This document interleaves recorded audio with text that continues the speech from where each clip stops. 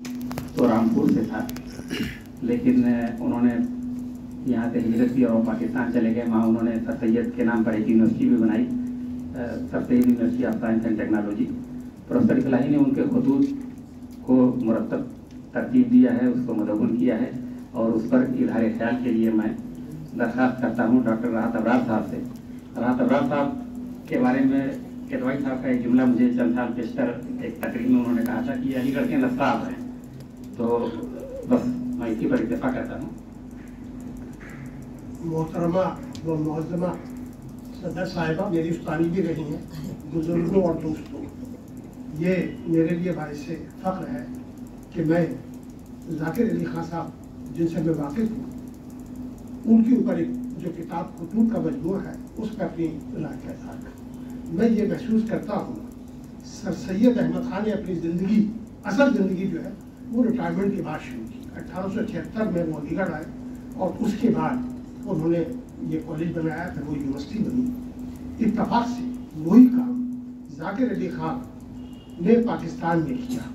जाकिर अली खान भी रिटायरमेंट के बाद ओल्ड बॉयज़ एसोसिएशन थी और उन्होंने sir Syed university of engineering and technology बनाई।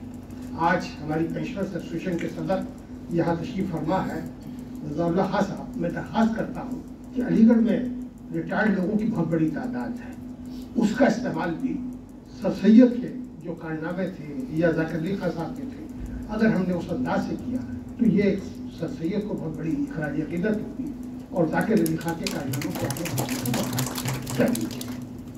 दूसरी चीज़, अलीगढ़ में अठारह सौ बहत्तर, पिछहत्तर से उन्नीस सौ बहत्तर तक जो भी वर्ल्ड वार रहे हैं, उनकी एक डायरेक्टरी प्रोफेसर खलीफ अहमद निजामी ने तैयार की थी।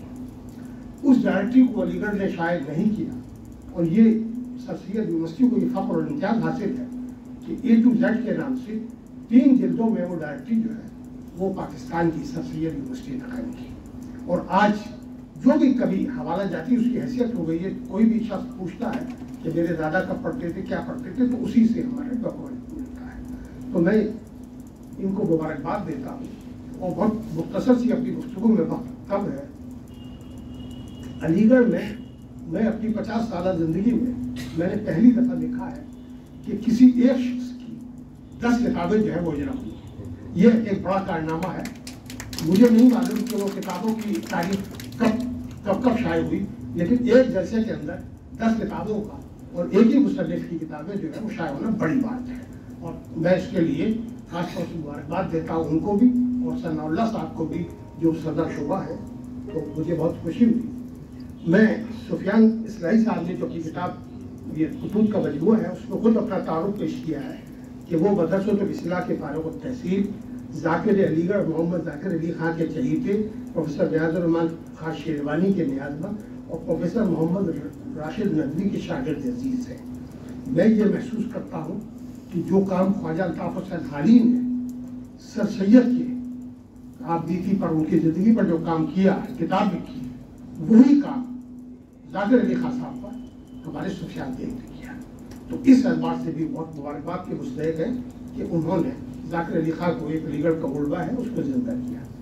जाकिर अली खान साहब के ये कुतुब उन छियालीस अफराद के नाम हैं, जिनसे उन्हें मोहब्बत थी, अकीदत थी उनसे मददार थे। इतफाक से उसमें मैं भी शामिल हूँ। प्रोफेसर इसराही कलमात अवलीन में फरमाते हैं कि ज़िंदगी भर सर सैद और फ़िक्र सर सैद की तरसील और तशहर जाकिर खान साहब का मकसद हयात था और उनका ये पूरा वजूद अलीगढ़ बन गया।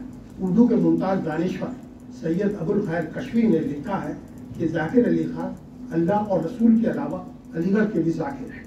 ये अलीगढ़ के दूसरे बड़े जाकिर और अपने उस्ताद रशीद अहमद खान सिद्दीकी की जानशीन है। अलीगढ़ जाकिर अली खान के दिल का जज्बा भी है, होठों का तबस्सुम भी है, माथे की शिकन भी है और ऊपर तक बटन बंद शेरवानी की है। दो सौ अड़तालीस सफ़ात पर मुश्तमिल खतूत जाकिर के अशार 2008 में 18 में A M U old boys association Karachi से प्रोफेसर नौशाबा सिद्दीकी की मुआवजत से शायद हुई। जाकिर साहब की दस किताबें शायद हो चुकी हैं।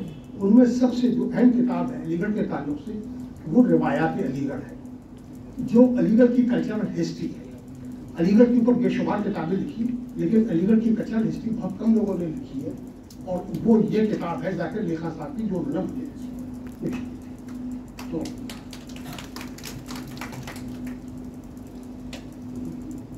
अलीगढ़ कल्चरल हिस्ट्री है, जाकिर साहब ने अलीगढ़ की रिवायत को यूँ कलमबद्ध किया है कि कागज़ आईना बन गया है, और इस आईने में अलीगढ़ यूँ सिमट आया है कि आँख में पुतली में आसमान सर सैयद यूनिवर्सिटी के मौजूदा चांसलर डॉक्टर जावेद अनवार के मुताबिक रिवायात अलीगढ़ इतनी मकबूल हुई कि अब तक इसके उन्नीस एडिशन शायद हो चुके हैं। मुझे मालूम नहीं कि उर्दू में कोई किताब ऐसी भी है जिसके उन्नीस एडिशन शायद हुए हैं। बल्कि इस किताब को Guinness book of world record में भी आना चाहिए कि जिसके उन्नीस एडिशन शायद हो चुके हैं। और ये यूनिवर्सिटी जो वहाँ सर सैद यूनिवर्सिटी है, जिसके बानी जाकिर साहब थे, उसके निसाब में शामिल है।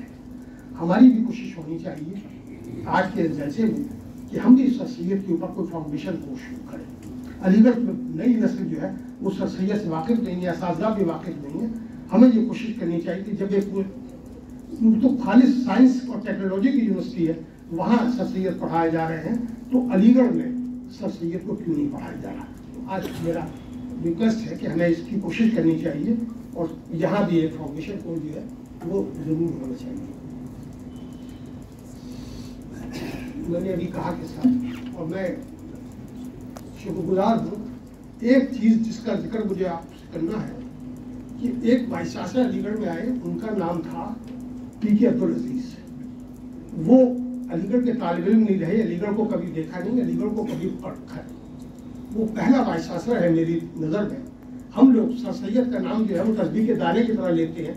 अमली तौर पर हमारा क्या कंट्रीब्यूशन है? मैं यूनिवर्सिटी का मुलाजिम था।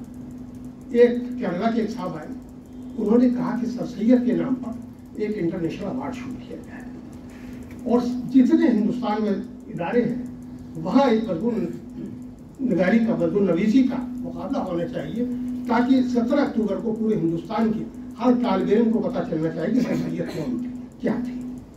तो ये गुफ्तु हो रही थी केरला के थे उन्होंने मुझे भी मदू किया, रात को डिनर पर बातचीत हुई। उन्होंने कहा, बहुत अच्छी तजवीज़ है उन्होंने कहा कि मैं इसके लिए दो करोड़, तीन करोड़, पाँच करोड़ रुपये अपनी तरफ़ से देता हूँ। लिहाजा पहली दफ़ा ये तय हुआ कि पाँच लाख रुपए का एक सैयद इंटरनेशनल अवार्ड दिया गया है। मैं 2007 में पाकिस्तान गया था और मैंने वहाँ सर सैयद के यूनिवर्सिटी के ताल्लुक से जाकर अली खान साहब के कारनामों को देखा था। 1990 में जब जाकर अली खान अलीगढ़ आए थे तो नुमाइश में जब गए थे तो 80 और 90 लोग उनके साथ होते डिस्ट्रिक्ट एडमिनिस्ट्रेशन के लिए बड़ा मसला हो गया था कि एक शख्स, क्या मकबूल आदमी है जिसके साथ सत्तर, अस्सी अस्सी लड़के साथ हैं और बड़ा वो था तो वो उनके अंदर, क्योंकि अलीगढ़ के कल्चर से वाकिफ थे और कल्चर में रचे बसे थे तो वहाँ आने के बाद ये तय हुआ कि पहला अवार्ड क्यों ना जाकिर अली खान को दिया जाए, जिन्होंने सर सैयद की तरह एक यूनिवर्सिटी जो है, वो अपने मुल्क में कायम की है और पहला अवार्ड उनको दिया गया और जिसका ज़िक्र हमारे सुफियान बेग साहब ने किया है। और उसका जो नॉमिनेशन था, वो सुफियान बेग साहब, सुफियान इस्माइल साहब ने किया था। मुझे खुशी है कि वो हासिल हुआ और वो इंजीनियरिंग के जाके साहब तालब थे। अदब उनका मौजूद नहीं था, लेकिन अलीगढ़ की क्योंकि रहे थे तो कल्चरल हिस्ट्री के ऊपर जितना काम उनका है, कम लोगों का है तो हमें कोशिश ये करनी चाहिए कि इन चीज़ों को आगे बढ़ाएँ। जहाँ तक इस किताब का ताल्लुक है, उसमें मेरे दो तीन शिकायत भी है। मिसाल के तौर पर, इन्होंने हवाशियों की तादाद बहुत कहीं कहीं इससे गलती भी हुई है। मिसाल के तौर पर, जाकिर साहब के खतूत में तारिक साहब का ज़िक्र करते हैं, तारिक अज़ीज़ साहब का, जो अंग्रेज़ी में है। जिनकी बेटी समीना पाकिस्तान में रहती है, वो उनसे अच्छा जाते थे। उन्होंने तारिक साहब का हवाला दिया है। ये उस तारिक को हिस्ट्री का तारक साहब समझते हैं, जो सचेत अकेडमी के डायरेक्टर थे। बल्कि हकीकत यह है कि वो तारिक अज़ीज़ का ज़िक्र करता है। इसी तरह बहुत सारी चीज़ें हैं, जैसे हवाशी में अगर सर सैयद का ज़िक्र सर जउद्दीन का ज़िक्र किया है तो वो दस दस जगह कर रहे हैं। हवाशी में एक ही जगह ज़िक्र अगर किया जाए तो बहुत ही उसके कागज़ को भी बचाया जा सकता है चीज़ों को भी बचाया जा सकता है। तो एक हवाशी जो है, वो एक ही जगह होना चाहिए, दस दस जगह एक ही नाम की हवाशी जो है, मेरे लिए बुला मैं समझता हूँ तो मुनासिब नहीं है। बहरहाल ये आपने जलसा किया, बहुत अच्छा किया। मैं मुबारकबाद देता हूँ और मुझे खुशी है कि मैं इस जलसे में शरीक हूँ और मैं जाकिर अली खान साहब से ज़ाती तौर पर वाकिफ था उनसे मेरे भी बहुत मामला थे खतूत भी थे और मैंने उसे बहुत शुक्रिया